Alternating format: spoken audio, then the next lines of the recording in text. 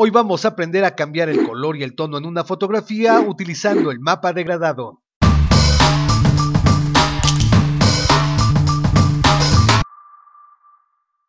Hola Big Bloggers, hoy vamos a aprender de una manera muy rápida cómo cambiar el color en el cabello de nuestro sujeto, nuestro modelo.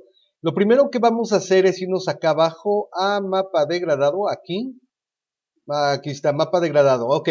Este mapa degradado, ¿para qué nos sirve? Nos sirve para cambiar el color y los tonos en nuestra fotografía, que en este caso va a ser en el cabello.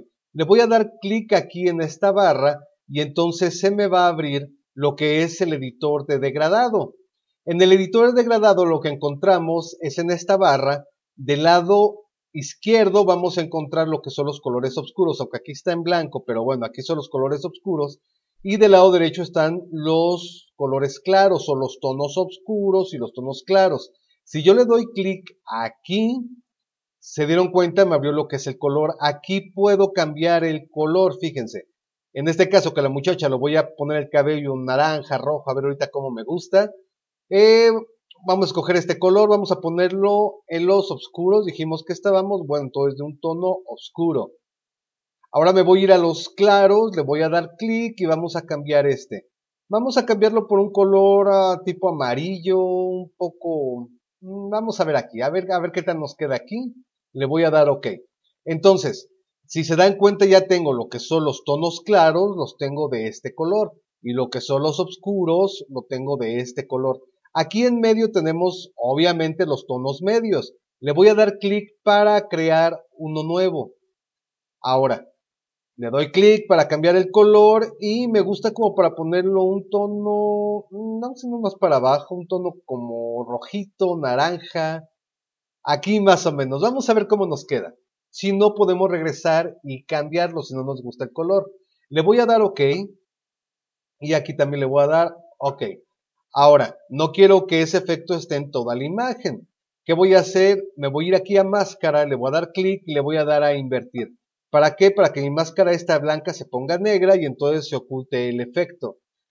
Voy a irme a mi pincel que está aquí y como mi máscara está negra y yo quiero que se vea ahora sí el efecto, voy a asegurarme que el color que tenga yo para pintar es blanco. Si lo tengo y puedo comenzar a pintar. Voy a, comenzar a pintar solamente una parte para ver cómo me va a quedar. Ah, ok, el flujo. El flujo lo tengo a 16, lo voy a subir a 100. Se va a ver mucho, ¿eh? pero ahorita lo vamos a trabajar. Ok, ahí tengo mi ejemplo. Ahí tengo el ejemplo. Lo que es mi capa de ajuste lo voy a cambiar de normal, lo puedo poner en superponer, luz suave o fuerte. En este caso yo lo voy a trabajar en luz suave, vamos a ver cómo nos queda. Y también recuerden que pueden trabajar lo que es la opacidad. Aquí se ve muy muy fuerte el efecto, el color. Entonces voy a bajar la opacidad. Para empezar voy a bajarlo a un 48%. Ahora sí puedo empezar a pintar en todo lo que es el cabello. En todo, todo el cabello. Voy a adelantar el video, voy a pasarlo en cámara rápida para que sea más rápido y menos tedioso para ustedes.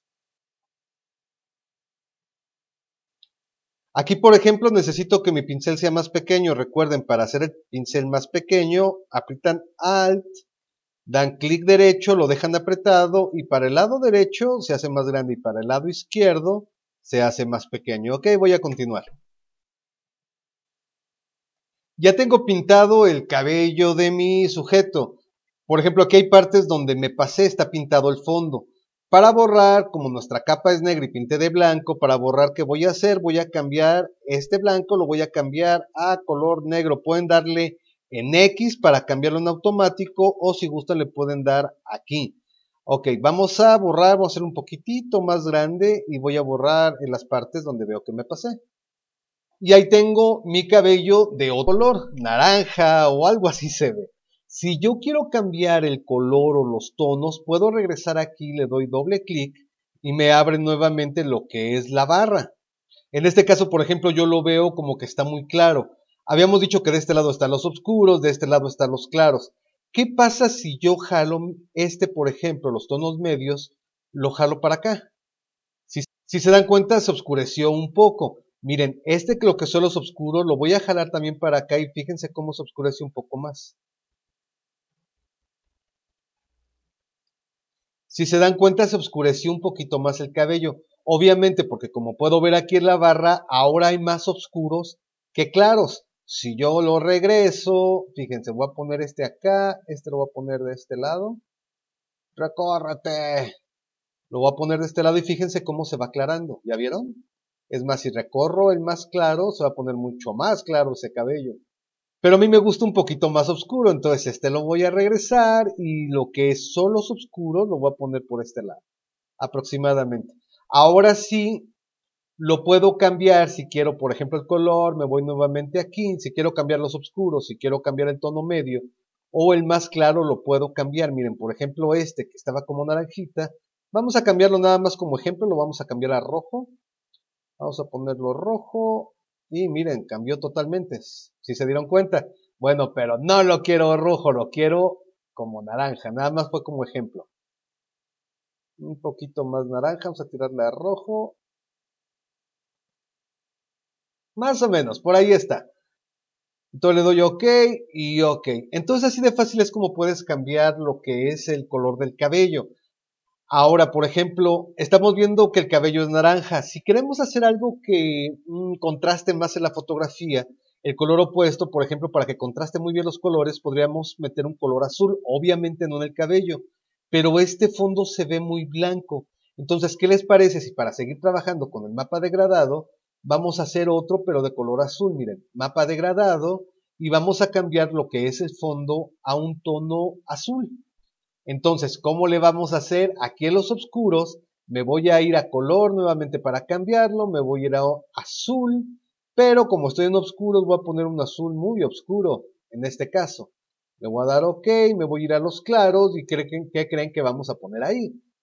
Claro, un color azul, pero en este caso lo voy a poner clarito. No voy a poner tonos medios, voy a dejarlo así.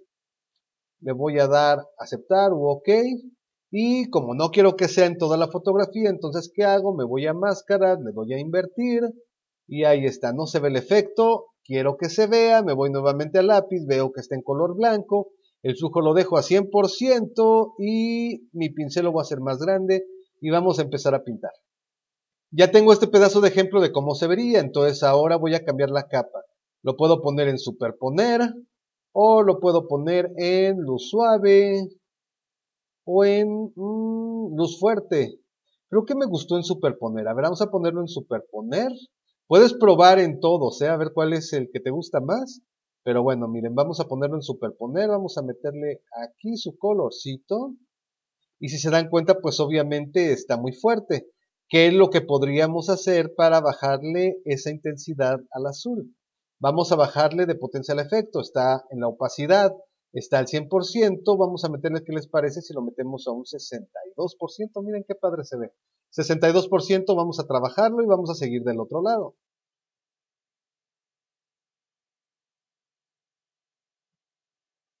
Ahí está, ya lo pinté todo y fíjense qué diferencia. Voy a hacer un grupo de estos dos, así como tengo seleccionado este, aprieto Shift, le doy clic izquierdo en el de abajo, selecciono los dos entonces. Si pongo control y G al mismo tiempo, se hace un solo grupo de esos dos. Entonces, fíjense, aquí está el después y el antes. Después y antes. Sí hay mucha la diferencia. Hay mucho contraste. Ahora, si sientes que es mucho, ya sea el color del cabello o del fondo, mucho el efecto, entonces lo que puedes hacer es estar trabajando con lo que es la opacidad aquí. Miren, por ejemplo, el cabello, tal vez siento que es mucho, del 48 lo voy a bajar al 29, lo voy a bajar al 35, no, saben que sí me gustó, a ver, al 41. Y fíjense, vamos a ver el antes y el después. Así como puedes bajar la opacidad en cada capa, también lo puedes hacer en todo el grupo. Miren, vamos a seleccionar todo el grupo, nos vamos a opacidad y le bajamos. Fíjense cómo va cambiando. Pero bueno, ahí es el gusto de cada quien, si les gusta con un poco más de color, menos color, etcétera, etcétera. En sí, fíjense, hasta como está esto de color como naranja y el fondo azul, sus ojos los podemos hacer destacar un poquito más. Podemos intentarlo hacer con el mismo mapa degradado que hicimos para el fondo, que está en color azul. Sus ojos de la chica son azules. Entonces, fíjense, voy a agarrar, voy a hacer este más chiquito y le voy a dar un clic aquí así muy leve. Perdón, está en color negro. Mm, Le voy a dar a color blanco. Ahí está, para que no borre, sino que pinte. Le voy a dar clic aquí y le voy a dar clic acá. Wow. Ahí está. Pero tal vez para muchos sería muy exagerado ese color. Entonces, ¿qué voy a hacer? Me voy a regresar. Entonces, si siento que está muy exagerado, lo que puedo hacer es bajarle acá el flujo. Se lo voy a bajar, por ejemplo, a un 43, vamos a dejarlo un 46% está bien. Y entonces, ¿qué pasa? Si le bajo el flujo, pues no va a pintar tanto.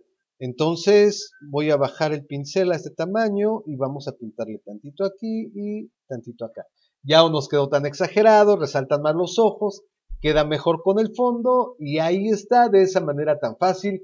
Puedes cambiar el cabello de color de las personas o puedes cambiar los tonos de colores de lo que quieras utilizando el mapa degradado. Si te, si te sirvió el video, suscríbete al canal y nos vemos en el próximo video de Big Vlog. Adiós. Adiós. Adiós.